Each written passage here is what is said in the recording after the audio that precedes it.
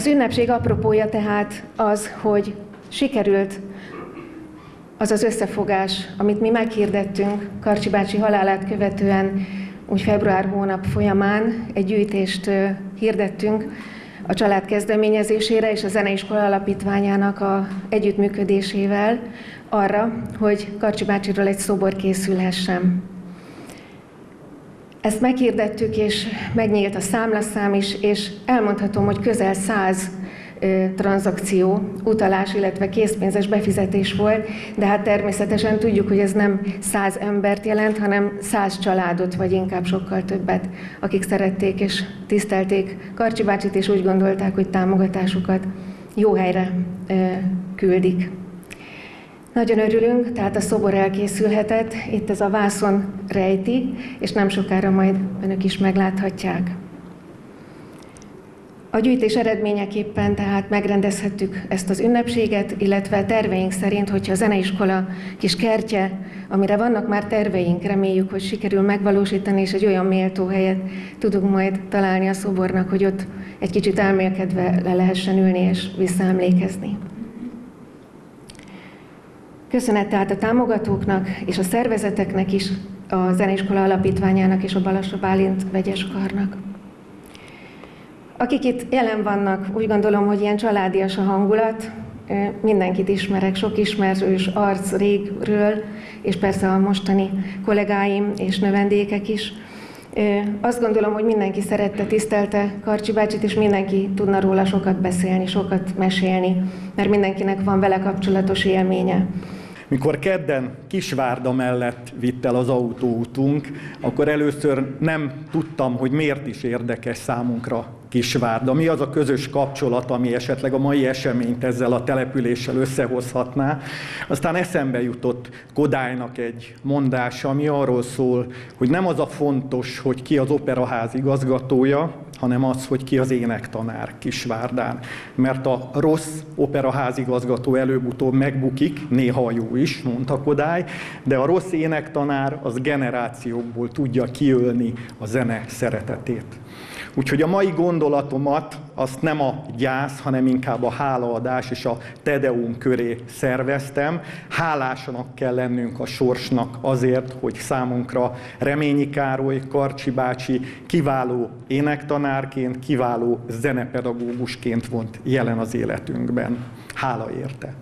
Amikor a 70-es években ennek az intézménynek a kapuját átléptem kisiskolásként, akkor nem gondoltam arra, hogy ez a rendszeres zeneiskolába járás, ez 20, 30, 40 és 50 év múlva is folytatódni fog, és mivel nem egyedüli vagyok a kórusban, aki itt kezdte a zeneiskolát, és aztán most jelenleg ott áll a kórusban, vagy a közönség, vagy a vendégek soraiban, ezért az ő nevükben is hálát kell, hogy mondjak.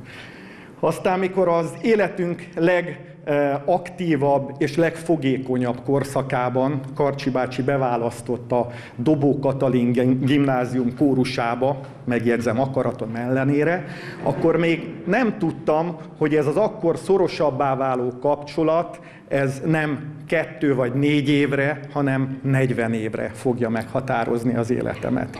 És mivel nem egyedül vagyok, aki a kórus életet a Dobó gimnáziumban kezdtem, hanem a kórusban, illetve a közösség soraiban is sokan vannak, akik ott kezdték, és aztán a Balasa kórusban folytatták, ezért hálát kell mondani. Szintén hálát kell mondani azért az időszakért, ami a Karcsi bácsi által felépített életművet jelenti. Tudjuk nagyon jól, hogy Karcsi bácsinak van egy zenei életműve, ami a zenei pályafutást jelenti, tanárként, igazgatóként, karnagyként, karvezetőként, de Karcsi bácsinak van egy épített életműve is, abban állunk most jelenleg. Amikor mi dobósok voltunk, és a dobó kórusnak voltunk a tagjai, akkor ezt az építményt átalakíthattuk. Akkor történt az alapozás, akkor történt, ha nem is a kafkai átváltozás, de akkor indult el ennek az épületnek az átváltozása.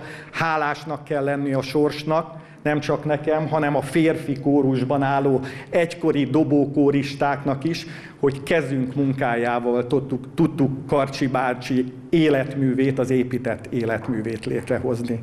Életünk során ajándékokat kapunk.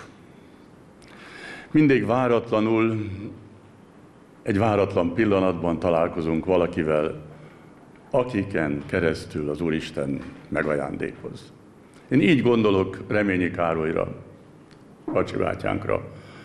Amikor először eljött hozzám Pilismarótra, az én kis Pilismaróti plébániámra, és megkérte, vagy megkérdezett, hogy szabad-e a kórusával a templomba énekelni. Ekkor ez még nem volt olyan természetes, magától értetődő.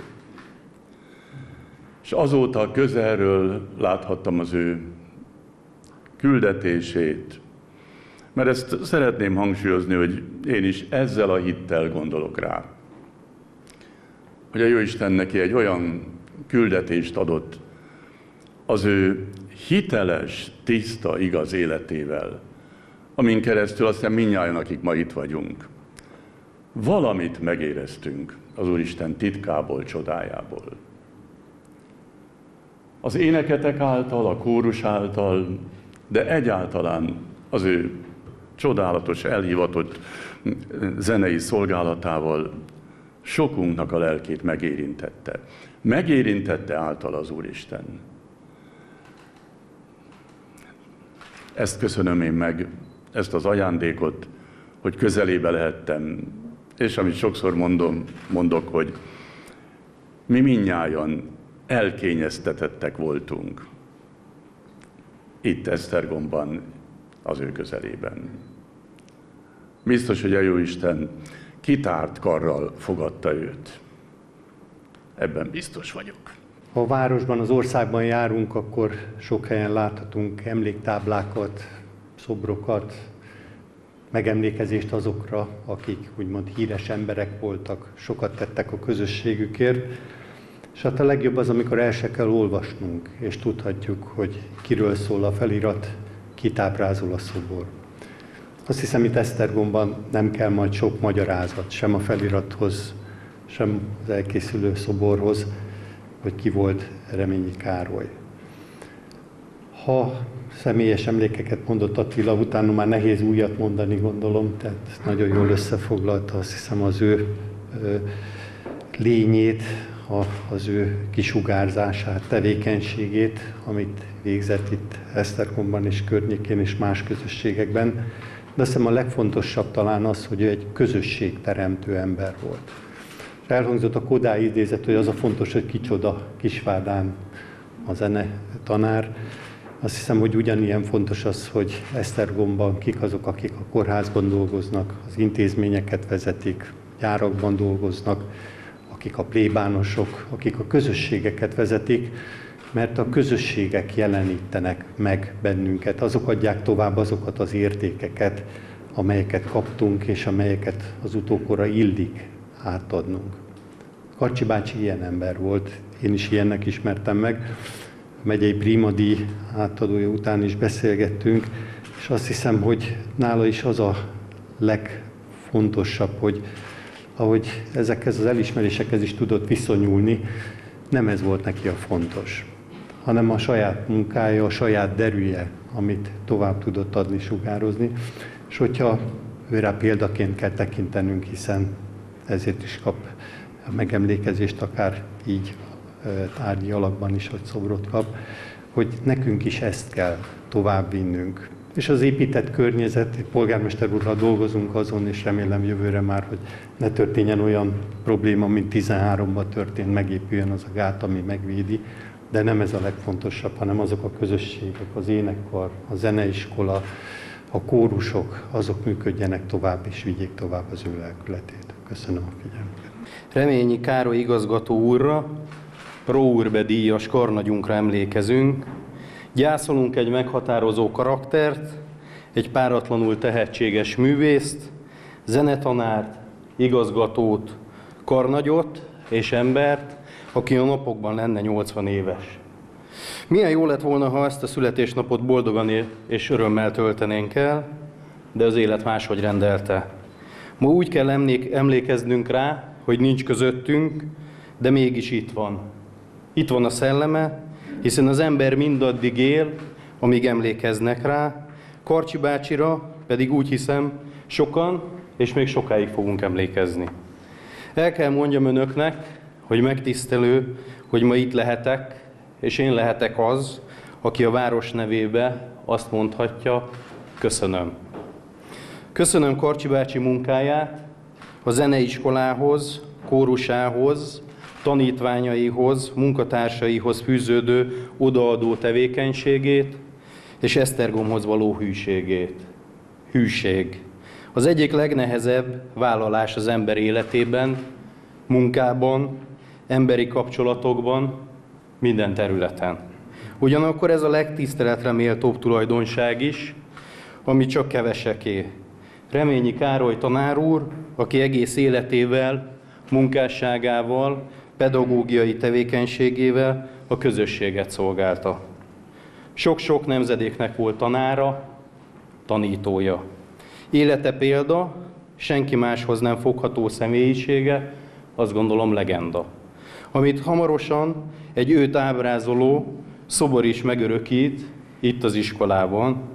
Igazgató úr, kedves Karcsi bácsi, remélem látja, hogy milyen sokan tiszteljük Önt. Kísérje onnan föntről áldó szeretettel mindazok életét, akik ma itt vannak ezen a napon, és adjon erőt, hitet, kitartást, útmutatást az emlékezőknek, nekünk. Esztergom nem felejti Reményi Karcsi bácsit. Köszönöm szépen, hogy itt lehetek. Kedves megjelentek itt a helyszínen és a Facebookon keresztül, akik követnek minket. Kicsit bajban vagyok, így utolsóként, mert rájöttem, hogy nagy műgonddal megírt beszédemet már elmondták. Azért engedjenek meg néhány gondolatot. Tehát mikor közvetlenül édesapánk halála után a, az ő bátyja, nagybátyánk, Reményi Ferenc megkeresett, hogy ö, emlékezzük meg az öccséről egy méltó szoborral, aminek a anyagi fedezetének induló részét majd ő állja, akkor még nem gondoltuk, hogy, hogy ma idáig jutunk. Nem gondoltuk, hogy egyrészt ennyien, már az első felhívása az ügy mellé állnak, és hogy ma egy ilyen, ilyen méltó eseményen vettünk részt. Köszönetet szeretnék mondani Udvardi Pásztor Ágnesnek, az alapítványi kuratórium minden tagjának, hogy lehetőséget biztosítottak az adományok gyűjtéséhez, és végig kitartottak a szobor ügye mellett. Köszönet illeti Ugyelat Tamás szobrászművész barátomat is, aki rendkívüli lelkesedéssel és nyitottsággal vállalta, hogy elkészíti ezt a szobrot.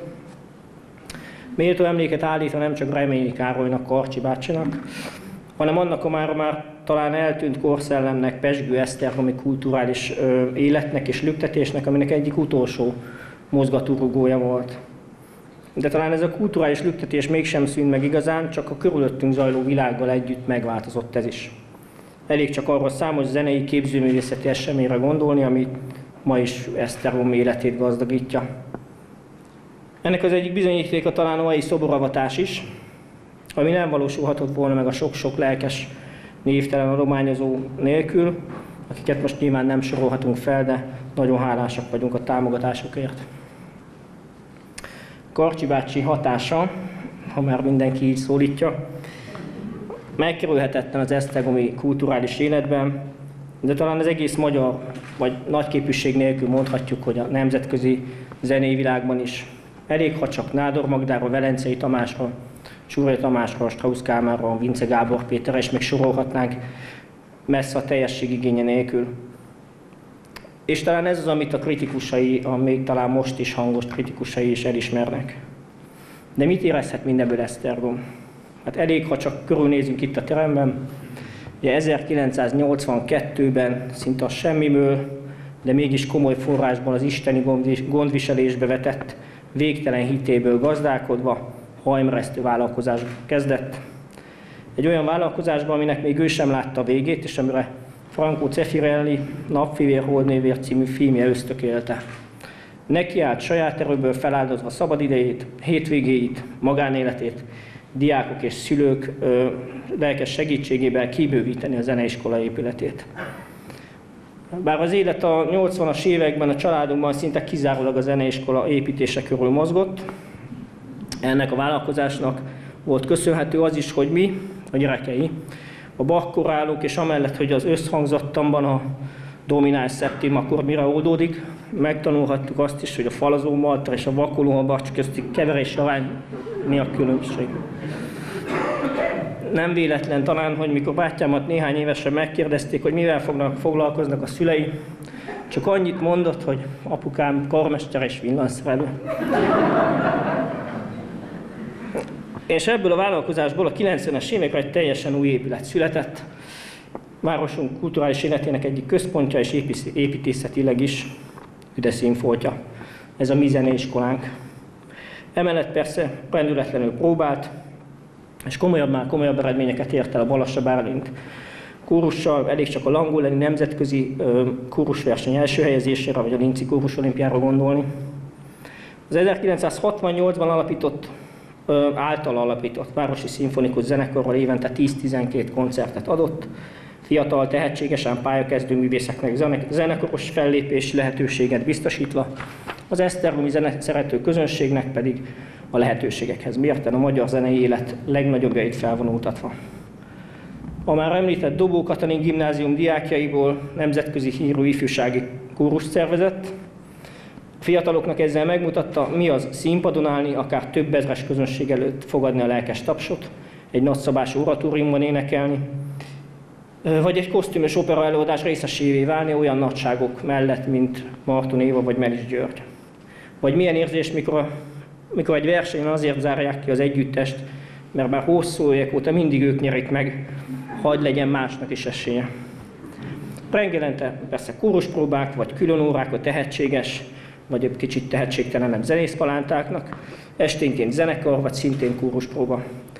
Közben, és ezt se felejtsük el, több mint 50 éven át járt minden szerdán és vasárnap Budapestre, ahol a Pesszent Lőrinc Árpádházi Szent Erzsébet, Szent Margit, bocsánat, plébánia templom kórusát vezette, szakmai tanácsaival pedig az Esztergom környéki együttesek munkáját támogatta, nem csak itt a megyében, de a felvidéken is. És elérkezett az 1990-es rendszerváltás, kialakultak az új politikai, gazdasági erővonalak, amiket ő már nem igazán értett. De az épület, az épület még nem állt. Így hát nem adhatta fel. Ekkor derültékből villámcsapásként érte a lehetőség, felkérték, hogy legyen a világ egyik legrangosabb operaházának, a Milánoi Scala gyerekkorosának vezetője. Emlékszem, komolyan elgondolkodott, de hát az épület még nem állt. A felkérés nagyságához és rangjához képest, bár komoly megfontolás után nagyon hamar tette, tette le a voksát Esztergom mellett. Mert neki itt van még rengeteg feladata, és folytatta még majd 25 éven át. Mikor néhány évvel a halála előtt szóba került ez az eset, és felvetődött, az egyébként nem is biztos, hogy jogos kérdés, hogy vajon miért nem vállaltál. Csak annyit mondott, hogy fiam, a hazának minden drógerre szüksége van. Halál előtt, halál előtt pár, jó pár évvel visszavonult az aktív zenei élettől. Utolsó koncertjét talán nem kis túlzással mondhatjuk, hogy a hattyú dalát 2019 januárjában adta a Ferences templomban, ahol végre és, és utoljára unokáival együtt állhatott a közönség elé. Bár tele volt tervekkel, számtalan koncert elképzelése volt, ezek megvalósításában előrehaladott betegsége már megakadályozta. Ám elnézve a róla készült szobrot, rá kell dömbennünk, hogy még egy utolsó örökművészeti élményen megajándékozott minket. Ez a szobor talán hosszú időkre visszhangozza azt a művészi igényességet, lelkesedést és alázatot, amit ő, ami őt egész életében jellemezte. Tehát Reményi Károly nem csak karnagy, igazgató és pedagógus volt, hanem koncertszervező és mentor is, de ha kellett, zenekari rakodómunkás, víz- és villanszerelő, kőműves segéd vagy kubikos. Egy olyan példakép, amelyre a hazának szüksége van. Aki elindult egy Baranya megyei kis faluból, a Pécsi Énekiskolába, püspök minisztránsaként, majd Miskolcon, Budapesten és Olaszországon át eljutott Esztergomban, ahol tudtán és talán akaratán kívül meghódította a világot, a mi világunkat mindenképpen. Azt kívánom a jelenleg és az elkövetkező generációknak, hogy sok erőt merítsenek az ő személyéből, itt a helyszínen pedig sok sikeres vizsgát, tanszakit, növendékhangversenyt hallhasson a közönség, És ha talán egy-egy tévesztés, memóriazavar be is csúszik a koncert és vizsgató okán, akkor ez a mosoly, az lendítsen át mindenkit.